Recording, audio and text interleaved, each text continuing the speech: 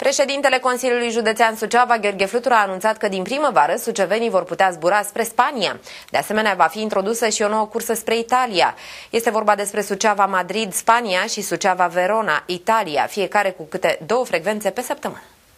Președintele Flutur a declarat că a primit foarte multe solicitări care au venit de-a lungul timpului din partea celor din diasporă care au cerut zbor spre Spania. Compania va opera cu o aeronavă de tip Boeing 737-300